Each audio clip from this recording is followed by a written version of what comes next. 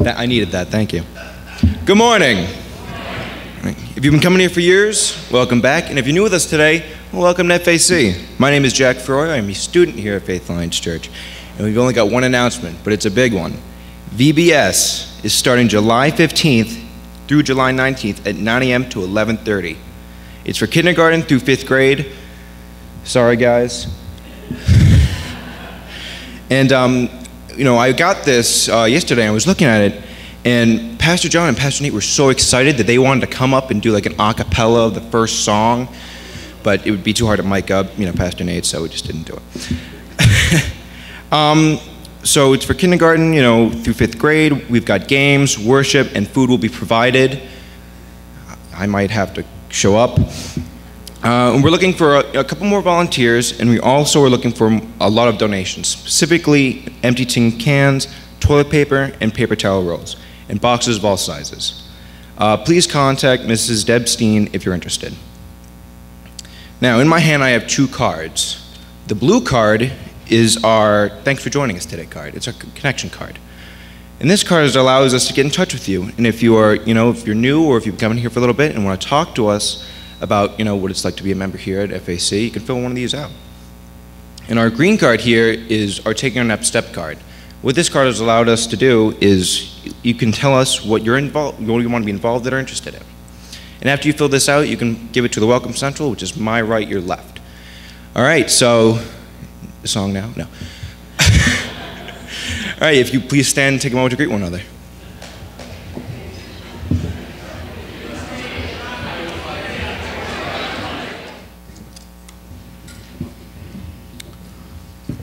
This morning's scripture reading is short, but it's serious. Today we're going to be doing Acts 1 through 4, Acts 8, 1 through 4.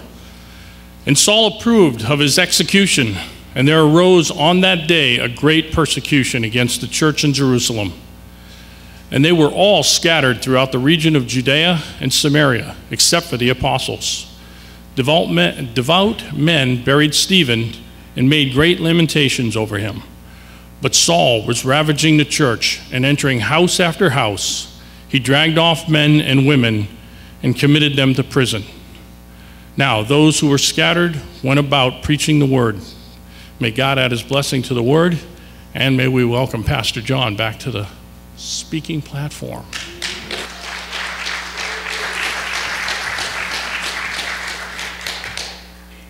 Normally, uh, when I get up here, I, I introduce myself, uh, just in case people don't know who I am. But this morning, I'm actually going to introduce myself because I've been gone so long. My name is John. I'm the lead pastor here at Faith Alliance Church. Uh, I have been gone four weeks out of the last six. Uh, so if you don't recognize me, that's why, because um, I'm new. Uh, but I want to say before we get into the message, before we get into some little housekeeping uh, regarding the message, um, I want to say thank you again. A couple weeks ago, I was here on Father's Day, and I want to thank you for, uh, again, uh, your support and your prayers and your cards. Um, you know, we've been to exotic places like Florida, uh, and we've been to exotic places like Wisconsin. Um, and uh, it's, it's been very meaningful in the, passing of my father. My father passed away a few weeks ago.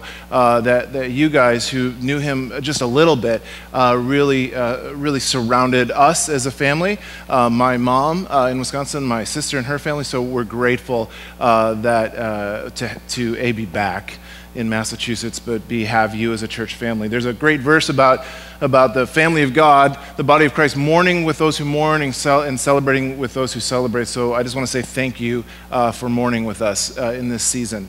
Um, but I am grateful, uh, thrilled even to be back, to be preaching, just to, just to get back to some sense of, of normalcy.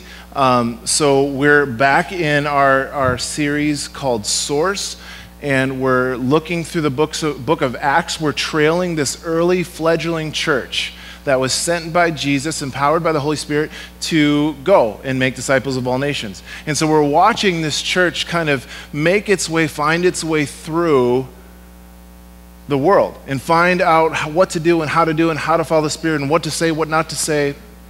And there's trial and error, and there's difficulty, as we'll see this morning. There's a lot of uh, things to celebrate, a lot of things to rejoice in, a lot of difficulties. Um, and so, what we can uh, be comforted in is that not a ton has changed. We're still, by the empowerment of the Holy Spirit, following Jesus in the world, working to make disciples. And there's still things to celebrate and there's still difficulties, and there's still uh, uh, failures, and there's still victory, and there's all this stuff wrapped up together. But the one thing that, that's constant, that has not changed, is that Christ has sent us through the empowerment of the Holy Spirit to make disciples. So we still get to do the same stuff that they did way back when, and we still have the same struggles. We just don't have to wear the sandals which is great news. A little bit of housekeeping about this message. I was, uh, if you notice in your bulletin, if you're observant, you'll see in the, the sermon notes page it says Acts 8 1 to 25. That's what I was going to preach on, and I was uh, finishing up the message yesterday, and I got about halfway through and kind of working through the, the content, um, and I realized that I actually had two messages. And I had a choice to make. I could either preach for an hour and a half today Oh, okay. Choice made. Or, just kidding. Or, or, or, or, we cut it in half and I just preached the first four verses this morning and the next 25 or 20 actually, uh, uh, 26 next week. Um, so that's what we're doing this morning. We're just taking one through four. So I, I texted uh, uh John, uh, who leads our worship, and John, who uh, read the scripture from John, and I said, hey, hey, John and John, it's John. If that wasn't confusing enough, I'm like, guys, we're cutting off about 20 verses. We're just going to do Acts 1 through 4. Acts 8, 1 through 4. So, so it says Acts 8, 1 through 25 on your bulletins. We're only doing the first four verses this morning. Uh, the bulletins were already printed by the time that decision was made. So, um, but the reason I want to do that, the reason I really want to slow uh, this passage down is because the, the, the event that happens in Acts 8, 1 through 4 uh, is entirely significant to not only the book of Acts, but to the history of the church. And, and I felt that in my preparation, I was just kind of blasting through the first four verses. And I really wanted to slow down and talk about what's going on, not only in the book of Acts, but then what, what the implications are. What does that mean for us as a church as we read about what happens uh, to them uh, a couple thousand years ago? So we see this historic event in the life of the church in the opening verses of chapter 8.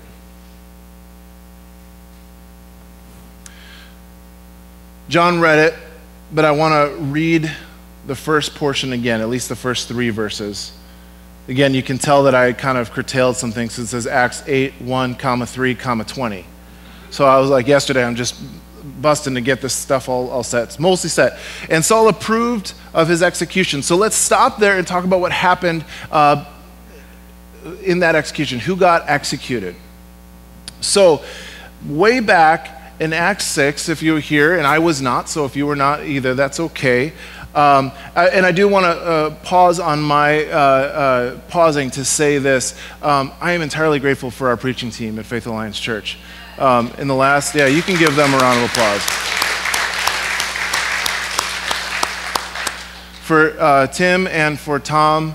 Tim Berkwin, Tom Jenkins, and for our uh, Pastor Nate uh, to really uh, not only step in to maintain, but step in to really push forward and advance what God is doing here at Faith Alliance Church through the preaching of the scriptures has been incredible. Um, I did not worry uh, one bit while I was gone whether or not Sundays would go well or uh, things would happen or not happen because we have such a good leadership team. John Varney, I, I never worry if I'm not here because John Varney is such a strong leader and a, and a, a, a strong worship leader that I don't ever worry if, if things are going to go well or not. I just know that they're going to go well.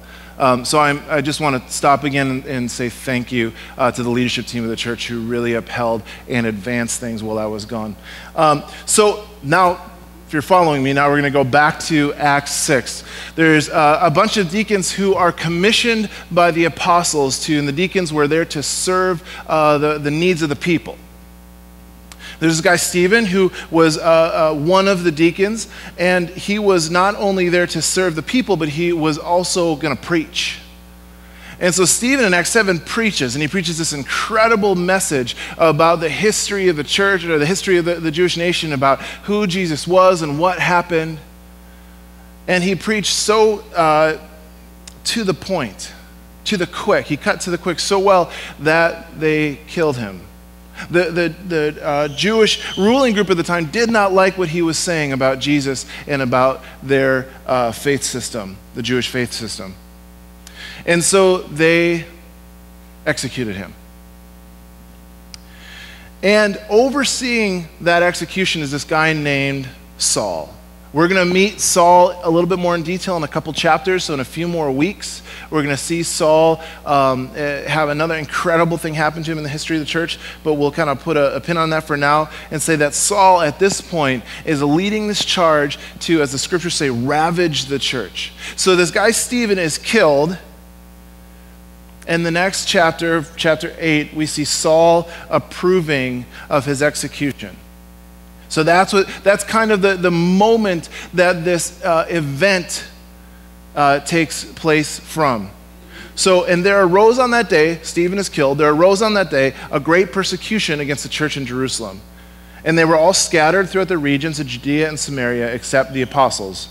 But Saul was ravaging the church and entering house after house. He dragged off men and women and committed them to prison. These verses are incredibly important to our understanding of the book of Acts and to our understanding of the church. Because what happens is, up until this point, the church is pretty much settled in Jerusalem, one city. Right? And in this city, they're, they're, they're uh, developing believers, they're making disciples, there's signs and wonders, people are being healed. There's a little bit of persecution with some of the apostles, they're getting beaten. They're said, Don't preach the name of Jesus but it's all happening within the city. It's pretty well contained. Then Stephen is executed, and Saul begins to ravage the church. And what happens in that moment is the church scatters. The church leaves and goes to Judea and Samaria. Now, what's interesting about this phrasing, Judea and Samaria, is that Jesus, way back in Acts 1, makes this promise he says, You will receive power when the Holy Spirit comes on you, and you will be my disciples. You'll be witnesses in Jerusalem, where they were, in Judea and Samaria, and to the ends of the earth. And so, this persecution, something that the apostles, the early fledgling church, the vulnerable early fledgling church, would not have chosen for themselves, scatters them into the very places that Jesus had promised that they'd go and be witnesses Jerusalem, Judea, Samaria, to the ends of the earth. And so, what started in Jerusalem now gets pushed out into the ends of the earth. And the rest of the book of Acts rests on these four verses because what we see are all these people going all over the place. Next week, we're going we're going to meet a guy named Philip who's in Samaria. He comes along, this guy named Simon, we'll get into next week. But, but there's, this, there's this incredible uh, event that sends all these people all over the region into the ends of the earth to be witnesses of the Lord Jesus Christ. So, persecution had an effect. These four verses, the ravaging of the church, had an effect. It changed them.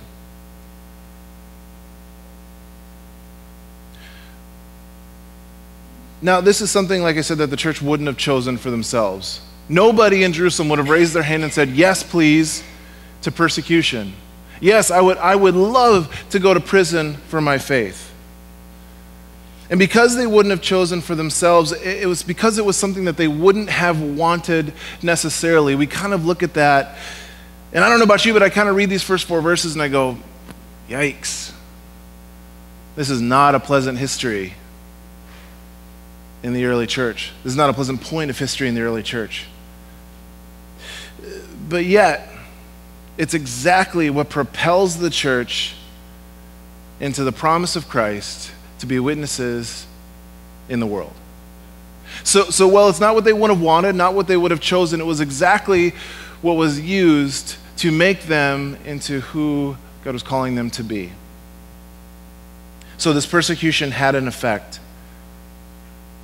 Well, it's, it's incredibly terrible. It became, an op- it became an opportunity for the church to spread the message of Jesus. See, what happens oftentimes in any organization or in any church throughout history is that when we're not pressed, when we're not pushed, when we're not challenged, we get comfortable. It happens subtly and it's a little bit sneaky. But every organization, every church drifts one direction on their own in. And the church was never called to drift in. The church was called to be a family, it was called to be a body. It was called to love and support, to mourn with those who mourn, celebrate with those who celebrate, all that stuff. But it was never called to drift in, it was called to go out. On its own, on, on our own, as a church, we will drift inward. And that is a big issue. It's the fate of every church everywhere to drift in instead of drifting out. And it's the way of organization and churches. And so this, this persecution in Acts 8 forces the church out. It, it keeps the mission of the church at the forefront. It keeps the passion to see uh, people become Christians white hot.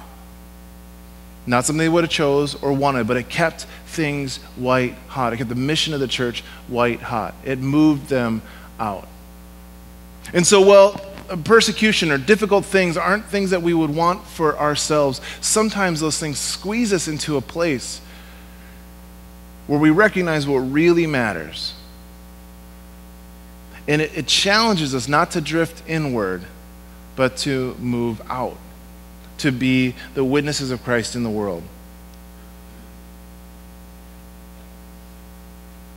But that tension, that feeling of setback, doesn't feel good. It never feels good.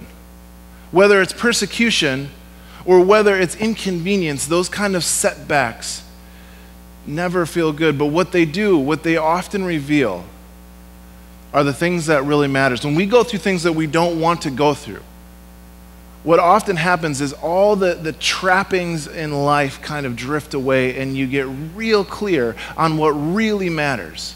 So when this persecution happens, they're not thinking, I need to grab my cell phone, or I need to make sure I get my home entertainment system, I need to make sure I get. They're just going.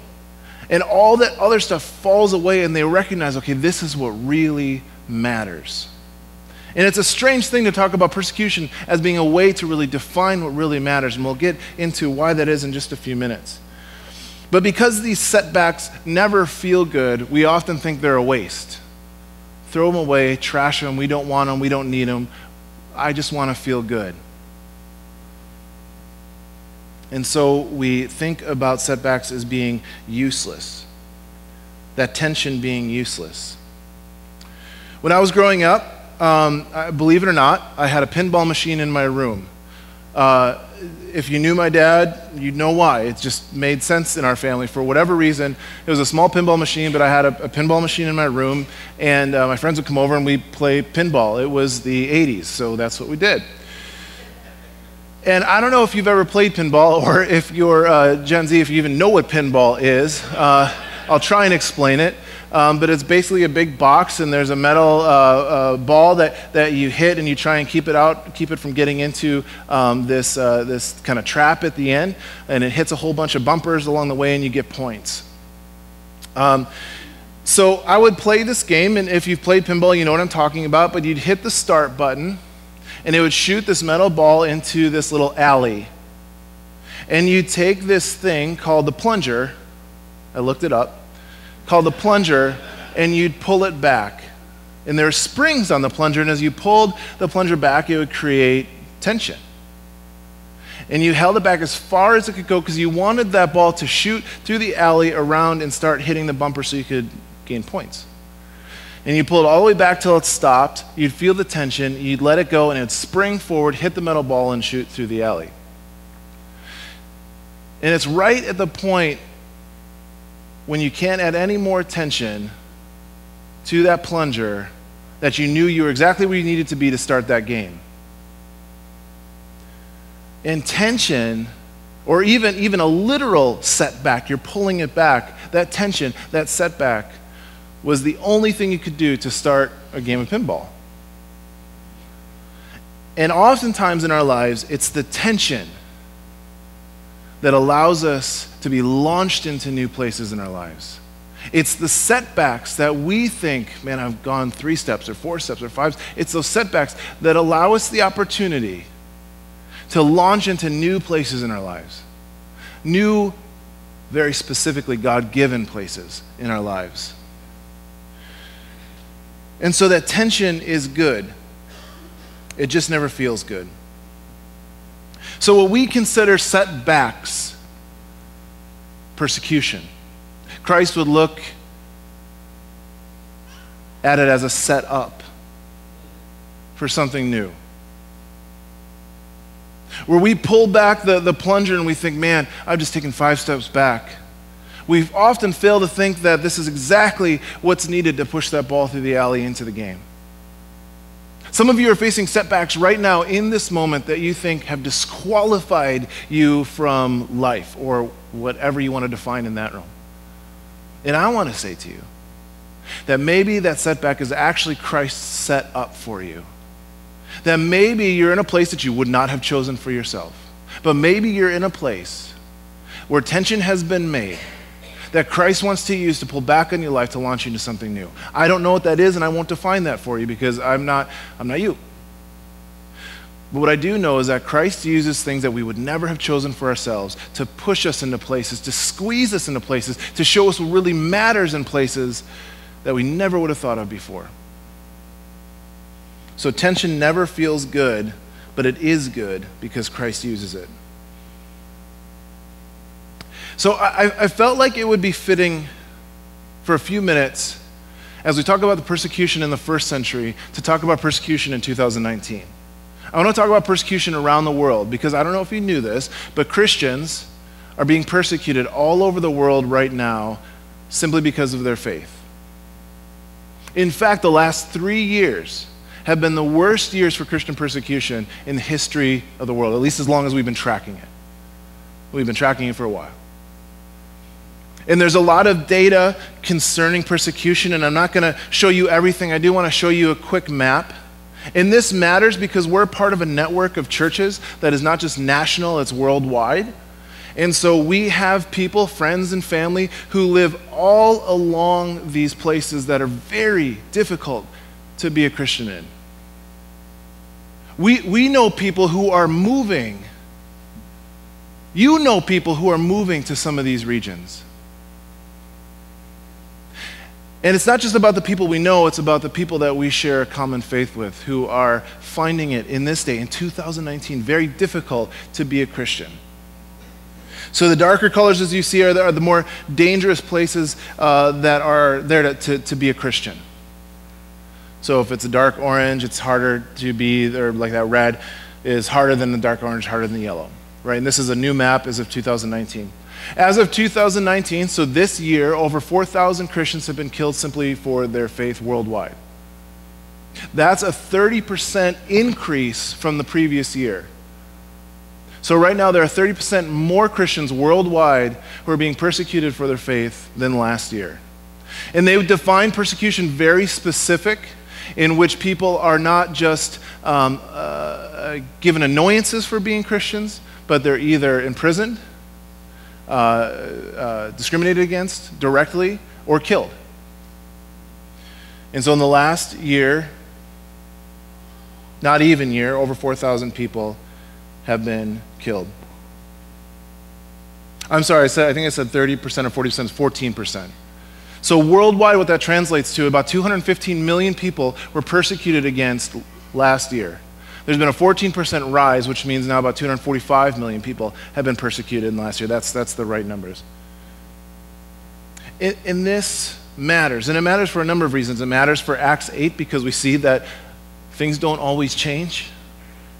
What was persecuted in Acts 8 in the early church is still happening in 2019. It matters because at, at this moment where we are uh, allowed to uh, uh, gather freely because of the freedoms of our nation. There are millions, millions of people worldwide who are gathering in secret to celebrate and worship Jesus.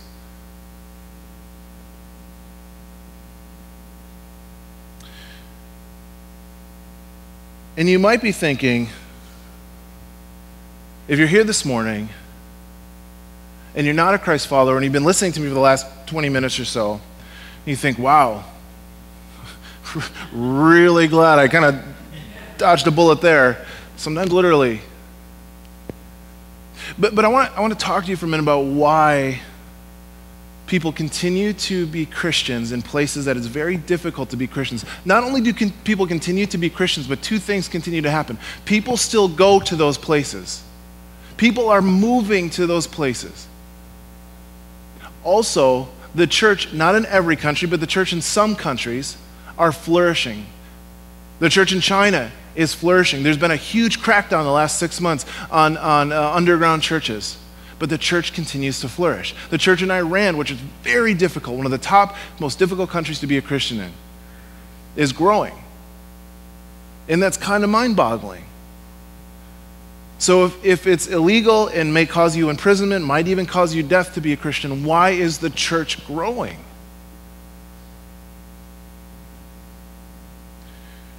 People today want to know what works. They want to know what's real. They want to know what matters. There's nothing more real than someone who has found something so good that they're willing to give their lives for it. We're called to live for Christ, but there's people today all over the world who are thinking on, on, the, on the front of their minds, today I could die for Christ. And they're still choosing to follow him because Christ is that much bigger and that much better than anything anybody can do to them.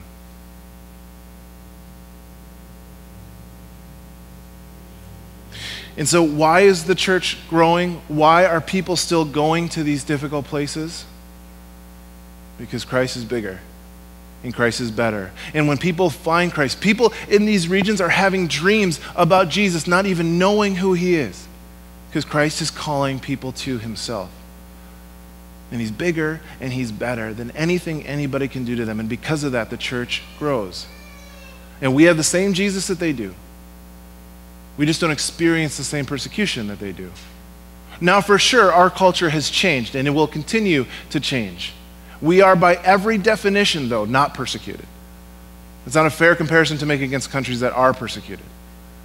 We might be discriminated, Christians may be uh, uh, gone to the margins, but we're not being persecuted. So, we're going to talk for just a moment not only about the church in the world, but then the church in America and what do we do? See, what's happened in the last 40 years in the church in America is, is not that we've become persecuted, but that we had been a central voice, a central place of influence, a central place of trust. And so not only theoretically, but even geographically, churches were built in the middle of town. This church started, guess where? In the middle of Attleboro. In all over the nation, churches were in the middle of town, and people would use churches as community centers, and they would go and they would find the church to be a, a central location, and faith was more or less assumed in a lot of ways. Christianity was more or less assumed in a lot of ways. And there's a lot of reasons for that. But over the last 40 years or so, that has really shifted to now the church has kind of moved to the margins of society. The church is no longer the central voice.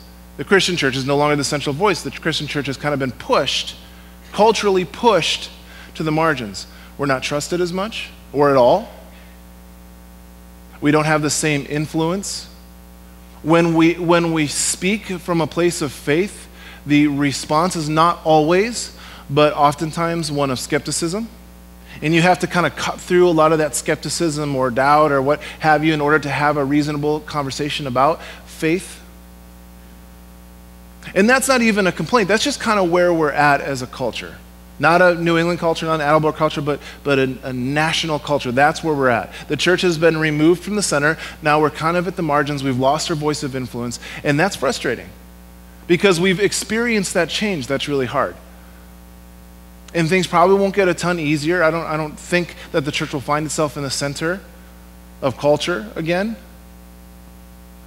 So even you might, I definitely do, feel the tension of that, feel the pullback of that, feel the lack of opportunity, feel, feel something missing from that. Oh, it used to be this way, and now it's not, and it's this way, and I don't like it. We didn't choose it, we don't want it. No, we didn't, absolutely not. And it feels like there's some tension there.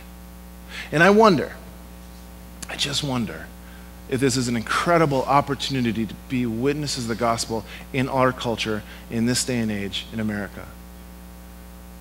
So we just have to ask the question how, God? How are you calling us to be witnesses? How are you calling us to be bold?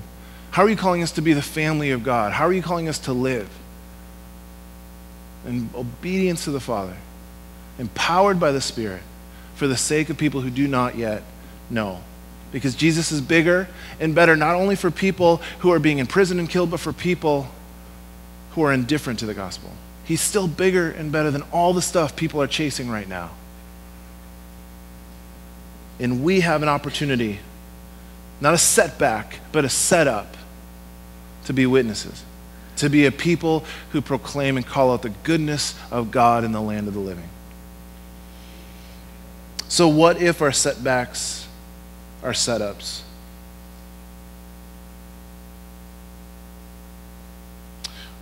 What if our ends, the, the end of being in the center of influence, the end of a relationship, the end of, of uh, whatever it might be, what if our ends aren't setbacks, but actually setups? We have a hard time with, with ends. Like sometimes we, we feel like ends are just like these setbacks. Something ends and we're like, ah, now what? We have a difficult time talking about things that end. When we see things end, we think, what's wrong? What if nothing's wrong? What if an end is exactly what an end is a setup for what God is doing next? As we live and grow and develop and mature, situations that we are in as we grow in Christ don't fit anymore. It's kind of like trying to put on a jacket that you wore 10 years ago. I don't know about you, but a jacket that I wore 10 years ago would not fit. And sometimes we continue to try and wear those jackets and hold on to those and, and, continue to stay in situations that just don't fit our maturity anymore, just don't fit how we're growing as believers. And so, an end is to take those things off and say, okay, I, I'm not going to need that anymore. I've grown in Christ, I've changed. And so, an end is not a setback, but it's really a setup for something new.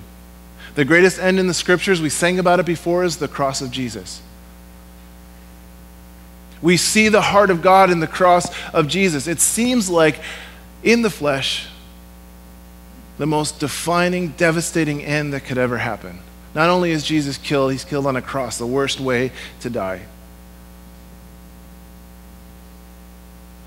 And we kind of sit with now we know the end of the story but we kind of sit with this end and like oh what do you do with that? Why did it have to happen that way? The, the disciples we know they went back to their normal lives. They're like well i guess that's it. That was good for a while but we're done. But what they didn't realize is that end was an incredibly well designed setup for this new life that we are still living in 2,000 plus odd years later. It's through that end that we get to the renewal of all things. It's through that end that Christ was resurrected from the dead. It's through that end that Christ offers us the forgiveness of sins. It's through that end that we're offered new life completely and entirely in Him.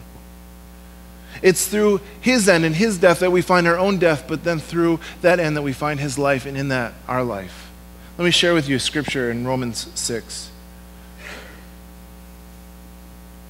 This is Paul, who used to be Saul, right? He's ravaging the church in Acts. Now he's writing the New Testament, so we'll get into all of that in a little bit. It's crazy, but it's incredible. But this is Paul writing to this church in Rome, and he says, Do you not know? That all of us who have been baptized, and he means to be placed into Christ, all of us who have been placed into Christ Jesus, were placed into his death. We were ended. We were buried, therefore, by him, with him by baptism into death, in order that just as Christ was raised from the dead by the glory of the Father, we too might walk in the newness of life. For if we have been united with him in a death like his, we shall certainly be united with him in a resurrection like his. And Paul's referring to a spiritual death and resurrection. That in Christ's end we were ended, but that in Christ's renewal and life we were given new life. And so every end, every bit of tension, every setback has, has gospel opportunity all around it. The question is, how are we going to choose to see it? What are we going to do about that? How do we live with that individually, and how do we live with that as a culture? I love being a part of the church in 2019 because I cannot wait to see how God uses us in the margins. I'm excited to be a part of what God is doing, not only in New England, but around the world, in America, in Attleboro. So the scriptures tell us that through ends we see renewal and beginnings. So you may be experiencing something that you would rather never experience. That might feel like an end. It might feel like tension. It might feel like something you would never in a million years choose for yourself or your worst enemy. But what if? What if? What? What if? This setback is really a setup for what God wants to do in your life. What if your worst setback is Christ set up for you?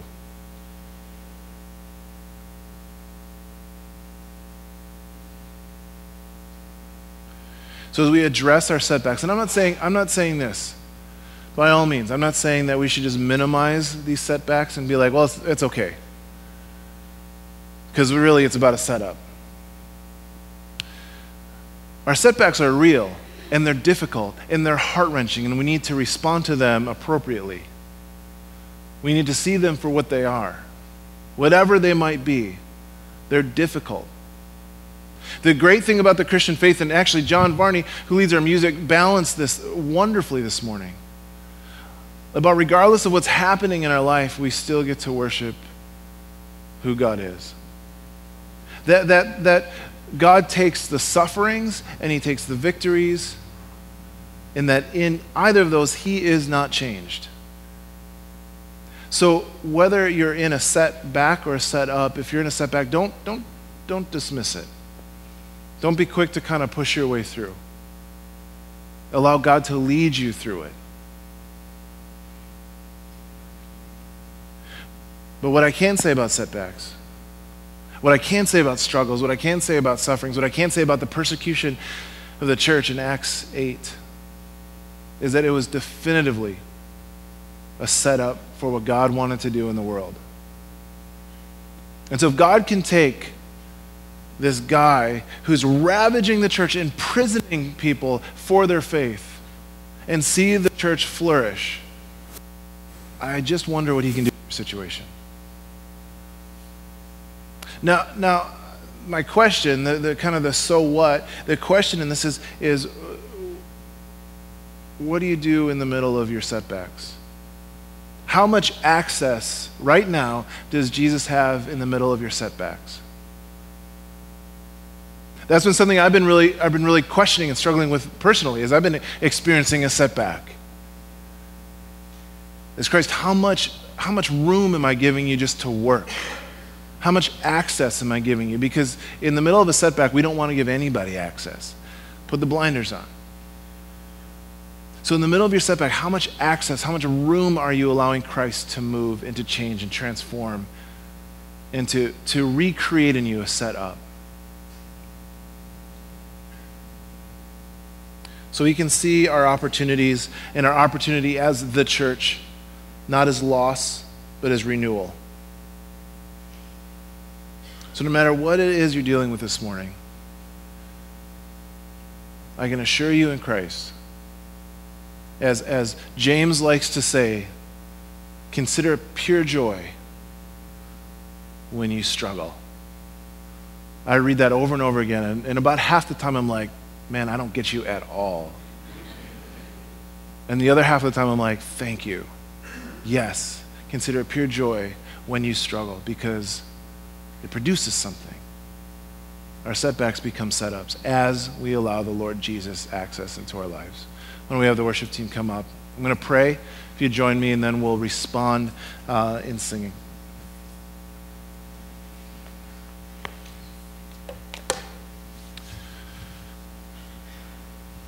Jesus, we, we recognize that you are um, bigger and you're better than anything we could ask or imagine.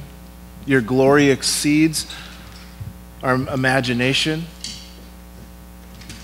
Your glory exceeds our, our realities for certain. And Lord, I'm sorry for, for any way that, that we've, we've tried to shortcut or, or, or try and, and shade your, your glory.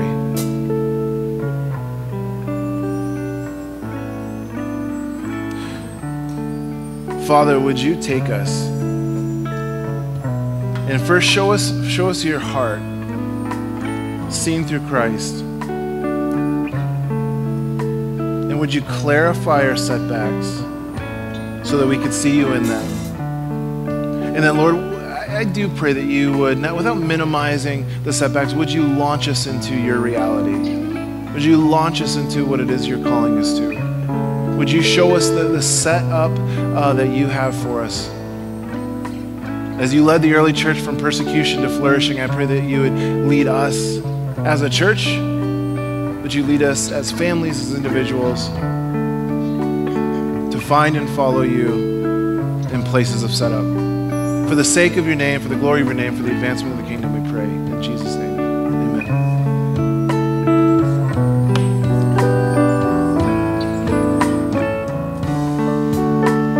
Please stand as we reflect. Be thou my vision, O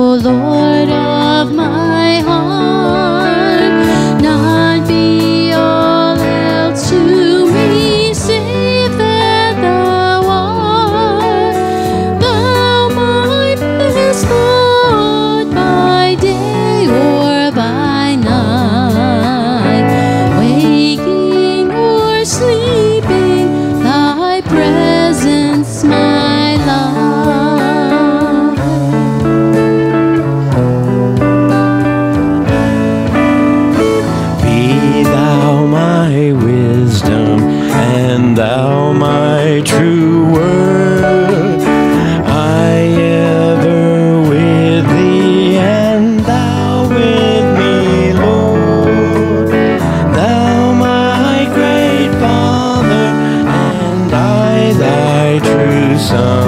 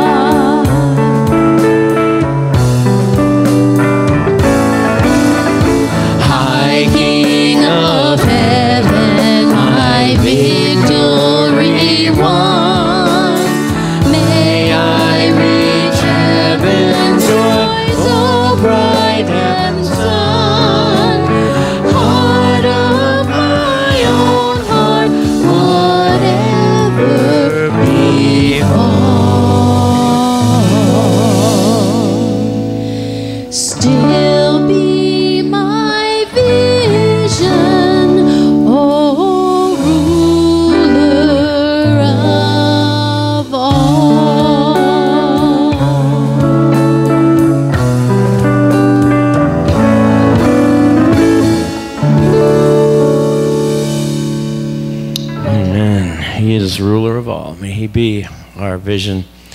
So, um, as we've done many times, uh, we send quite often from our church people to different places and uh, to serve and to be missionary. Uh, one in particular we send quite often because uh, she goes so often.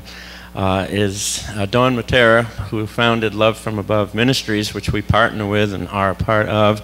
Uh, and if you don't know who she is, uh, Dawn founded and started this ministry uh, quite a few years ago and uh, has gone to Romania to minister to the least of these, the orphans and the, and the gypsies. And, uh, and she helps a church that's being built out there called Canaan and uh, and just so many. I couldn't list it all right now. The, the, the things that she's done and the young the folks that she's helped, um, and so she's going again at the end of this week. Will be the second time this year, and she'll be there for several months. And, uh, and we really just want to pray for her, pray over her. Our church has partnered over the years. She has her office here in, the, in our church. Uh, we are also the center for shipping all the clothes and donations that come in. Our youth have been getting sweatpants and socks for her. And so uh, we so appreciate the, the work that she does. Uh, that I'd uh, just like to have Dawn come up this morning. And, oh, I'm looking back there. with her son Todd and his wife Katie are here this morning visiting. Haven't seen you since youth group days. it's good to have you back.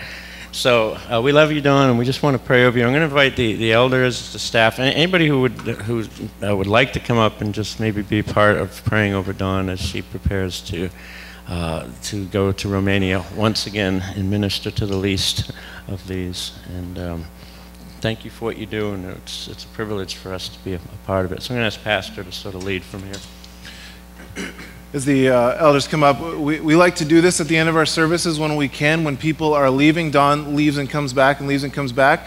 Um, but sometimes people leave, and we, we agree fully with the uh, idea of commissioning, talking about you know turning our endings upside down into uh, launching.